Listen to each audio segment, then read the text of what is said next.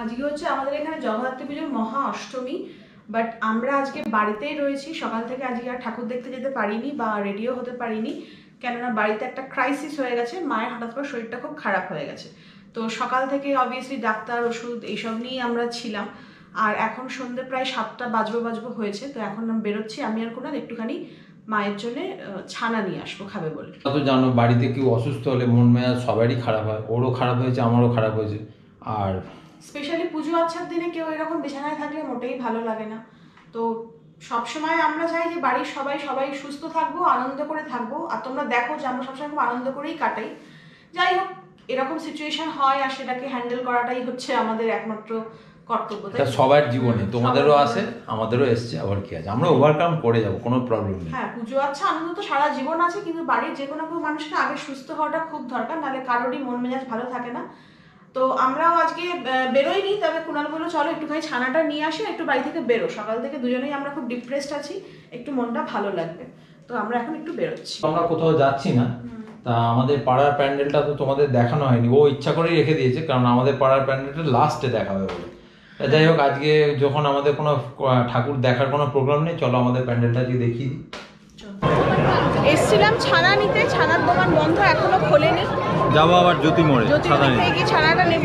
তো ভাবলাম একবার প্যান্ডেলটা এখান থেকে তোমাদের দেখিয়ে চলো চলো।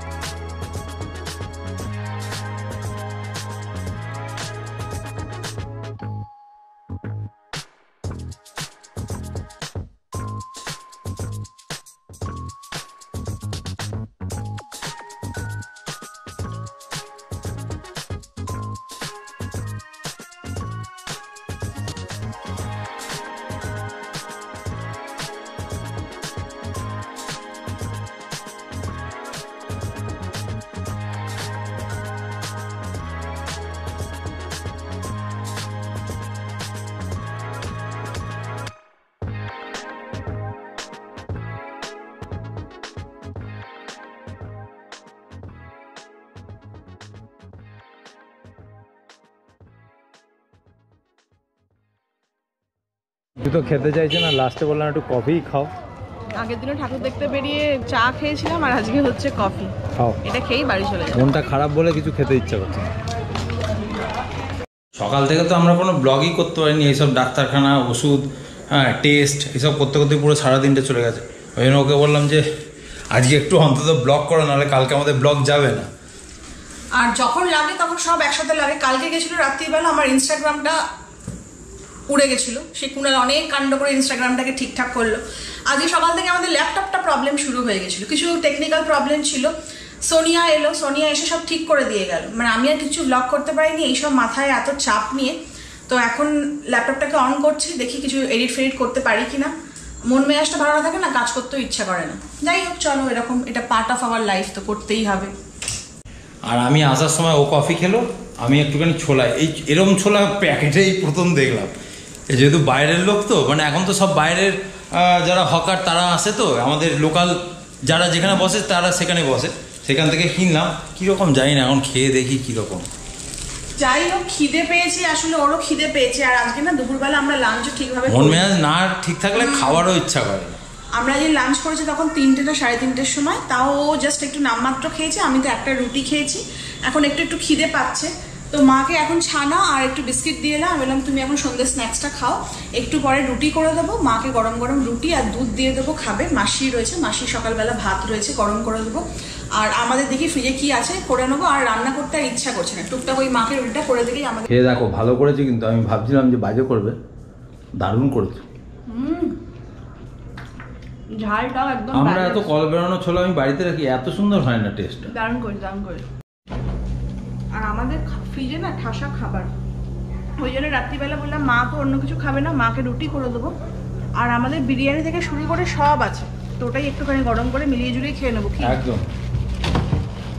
আমি একটা এই লেজের স্টাইল নিয়ে এসেছিলাম। খাচ্ছি এখন একটু খিদে খিদে নিয়ে এসেছিলাম। তোমার না সবসময় না না না। না, নাকে হ্যাঁ। করালাম দেখো খাচ্ছ।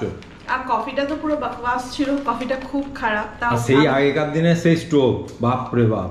এবার ও জ্বালতেই ও দশ ঘণ্টা লেগে ভদ্রলোককে বলে দিয়েছি কফি নেব। কোনো বলছে না ওরকম করো না খাও উনি তবে এরা দূর থেকে আসে আমরা নিলেই তো তবেই তো ওর বিক্রিটা হবে। তো নিয়েছি খেয়েছি কিন্তু খেয়ে আর খেতে পাচ্ছি না মানে ফেলে দেবো কুনার আওয়াজ তাই আমি খেয়ে নিলাম কিন্তু খুব খারাপ ছিল।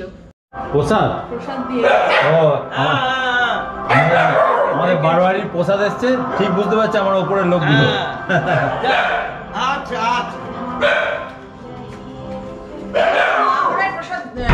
এসেছিল সকালবেলা নাই না আমাদের তো কালকে নবমী পুজো হবেই। হ্যাঁ কালকে তো সেটা কালকে নবমী পুজো হবে। এটা কিসের কে জানেন জিজ্ঞেস করছি। জিজ্ঞেস করো মা আমাদের হেড শেফ চলে এসছে ইউনিফর্ম পরে রুটি করবে। ইয়ার কি মানে সবসময়। দুটো রুটি করব মায়ের জন্যে আর সকালে ভাত আছে ওটা মাসি খাবে। আর মায়ের তো সুগারটা বেড়েছে আলু ভাজা ফাজা সব খা খেতে দেবো না। তো মাকে দুধ দিয়ে রুটি দিয়ে দেবো। আর একটু আগে ছানা আর বিস্কিট খেয়ে নিয়েছে। তো ওই জন্য দুটোই বলে দুটোই করে দিচ্ছি। হেড শেফের অ্যাসিস্ট্যান্ট চুকি আর চুকিং দুজনেই চলে এসছে লেজ নাড়তে একদম ওস্তাদ আয় একটু হেল্প কর শেফকে কোনো হেল্পে আসে না উল্টে আরও মানে হেল্পে চায় আমি দুটো রুটি বেলে দিয়েছি। সকালবেলা মা ব্রেক লাঞ্চে রুটি খেয়েছিল বলে মাখাই ছিল আটা ফ্রিজে ছিল। আর এদিকে দুধটা বসিয়েছি তো দুধ দিয়ে রুটি মা খাবে ওই জন্য। দুধটা গরম হোক আর ওদিকে কুনালের রুটি শাখা হয়ে গেছে।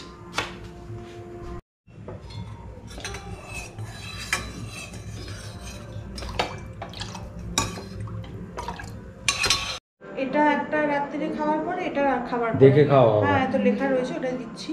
আর মায়ের খাওয়া দাওয়া হয়ে গেছে এবার মাকে একদম ওষুধটা খাইয়ে শুইয়ে দিয়ে আমরা ওপরে চলে যাব। তারপরে আমরা খাবারটা গরম করে আস্তে ধীরে খাব। আমাদের এখানে কাজটা মিটে যাবে তাই তো? কি করবে? কাঁসারের বাসনগুলো নিলে আবার জন্মদিন করবে নাকি আমার? কুণালের জন্মদিনে সেই বার করেছিলাম আর এটা বছরে দুবার বেরোয়। এক হচ্ছে কুণালের জন্মদিনের সময় আর এক হচ্ছে জামাই ষষ্ঠীর সময়। তো জন্মদিন মিটে গেছে এবার ঢুকিয়ে দিচ্ছি। ফ্রিজে চিকেন বিরিয়ানি মাটন বিরিয়ানি সব ছিল জন্মদিনের সময় আনা হয়েছিল। অর্ধেক খাওয়া হয়নি পড়ে আছে কুণাল বলছে আজকে সব শেষ করো। ওই জন্যই আরও খাবার বানালাম না। আজকে এটাকে পুরো গরম করে আমরা পুরো একদম সর্টেড করে দেবো মানে খেয়েই নেব। খেয়ে নাও একদম। চিকেন আছে চিকেনটা অতটা খেতে পারবে না তা তাও যাই হোক এটাকে এই আরে না খেতে পারলে এই যে হ্যাঁ, বসে আছে ওই ওপরে। লোক আছে খাওয়ার অসুবিধা কিছু নেই। না ওদেরও শরীর খারাপ করবে অত চিকেন মিকেন রোজ খেয়ে। আর আজকে আমরা তাড়াতাড়ি খেয়ে শুয়ে পড়ব তার একটা কারণ আছে। কারণটা কিছুই না কারণটা হচ্ছে যে আমরা নবমীর দিন প্রত্যেক বছর একদম সাড়ে পাঁচটা ছটার মধ্যে আমরা তেঁতুলতলার মাকে আমরা দেখতে যাই। আর সেই দিনকে হ্যাঁ। তোমরা জানো কিনা জানি না সেদিনকে মায়ের রূপটা সম্পূর্ণ চেঞ্জ আজকে যারা রাত্রে দেখে আসবে কালকে সকাল থেকে দেখবে মুখ একদম চেঞ্জ মানে হয়ে চোখ বলো এ বলো। এই ঠাকুরের কোনো মিল নেই। মানে মিল নেই বলতে অন্য ঠাকুর যেমন ষষ্ঠী বা সপ্তমী থেকেই পুজো হয় তেঁতুলতলার বারোয়ারিরা ঠিক আগের দিন ঠাকুরকে শাড়ি পরানো হয়। বলছে আমার গায়ে দিয়ে কাটা হ্যাঁ, উঠছে। আর নবমীর পুজোটাই হচ্ছে আসল পুজো। আর ওখানে গেলে মানে কাতারে কাতারে লোক বসে থাকে ডন্ডি কাটবে বলে পুজো দেবে বলে। যে কোনোদিন জগদ্ধাত্রী ঠাকুর দেখেনি শুধু তেঁতুলতলা বারোয়ারি নবমীর দিনকে হাজির হবে। ঠাকুরের চোখ তুমি একবার যদি তাকাও আর চোখ ফেরাতে পারবে না। ওইখানেই তাকিয়ে থাকবে। আর মা নাকি খুব জাগ্রত। তো কোনো বছরই আমি গিয়ে পুজো দিতে পারি না তবে মাকে মনে মনে ডেকে আসি সবাইকে ভালো রাখো সুস্থ রাখো। তো এটাই আমাদের সবার কাম্য। দেখো টাকা পয়সা আজ আছে কাল নেই বা আজ যে রাজা সে কাল ফকির হতে বেশি সময় লাগে না। মেন কুণাল যেটা বলে শরীর সত্যি শরীর তাই। শরীর যদি ভালো থাকে সব আসবে। দুটো ভগবান হাত দিয়েছে খেটে ঠিক রোজগার করে নেব। কিন্তু মানুষকে আগে ভালো থাকতে হবে সুস্থ থাকতে হবে। প্রত্যেক সন্তানের কাছেই তার মা বাবা একদম মানে কি বলব প্রেশিয়াস তো আমিও তো ব্যতিক্রম নই কিন্তু মানে মা আমার কাছে মানে কি বলব লাইফ লাইনের মতো। বাবা তো অনেক ছোটবেলাতেই বাবাকে হাড়ি ছেড়ে দাও, কিন্তু মা, বাবা, মা দুটোরই দায়িত্ব পালন করেছে এবং সেটা খুব ভালোভাবে পালন করেছে। আজকে তো তোমাদের সামনে আমি এসে বসে হাসি মুখে যে গল্প করতে, তার পেছনে হয়তো মা স্ক্রিনে কোনো সময়ই আসে না। কোনো সময়তেই থাকে না। মাকে খুব কম তোমরা দেখো but she is not comfortable on screen but behind the camera she is always there for us এই আমাদের বেশি আনন্দ দেখো, আমরা ঘুরছি, ফিরছি। পেছনে এই মানুষটার বিশাল বড় অবদান। মা আছে বলে আজকে আমি সবকিছু করতে পারছি। এই ভিডিও বলো ইউটিউব বলো স্কুল বলো টিউশন বলো সবার পেছনে কিন্তু একটাই মানুষ আছে। তো তাকে সুস্থ করে তুলতেই হবে। আজকের ব্লগটা ছোট হোক।